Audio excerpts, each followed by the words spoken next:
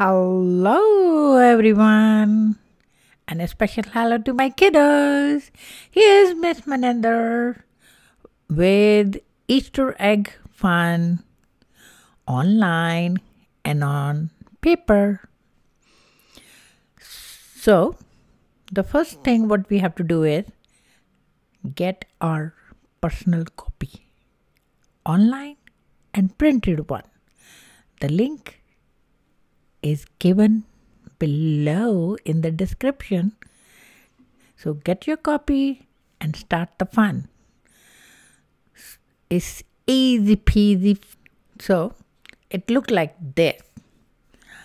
Uh, you just have to drag these uh, shapes onto the egg, right? So this I have done to show you uh, how it looked like when it is done.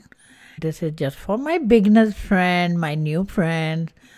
And like this, you get your star. Any color, any color.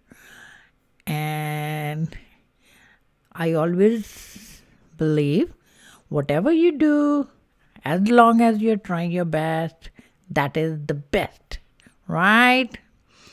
So the next one can be I feel like using this red square. And then I'm thinking how about going a theme of um, uh, dark and light? Uh, then we can have a light color here. And then again we can have a dark color here. As I said you have your own copy so you have your own choice. So this is i'm just sharing my little idea. In this way you're going to arrange the shapes onto the egg. And then the next one is here is getting a little advanced that the shapes are not drawn so you can arrange them between the lines, on the lines, the way you like, right? Because we have to enjoy that. And then the next one is simply plain. So you have again your choice of arranging them, arranging all the shapes, I mean. So that's it for online work.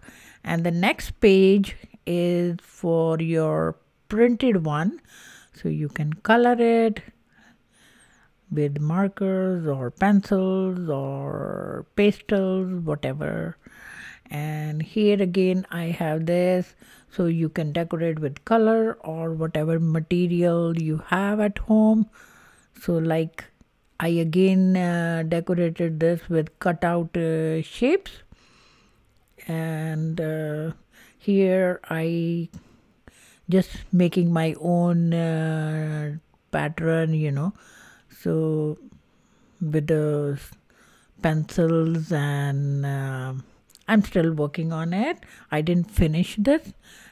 And again this next one you know I like to draw dark lines and uh, make the outline dark and then uh, color in between with uh, pencils or pastels, you know, and light color. And as I said, everybody has their own great ideas.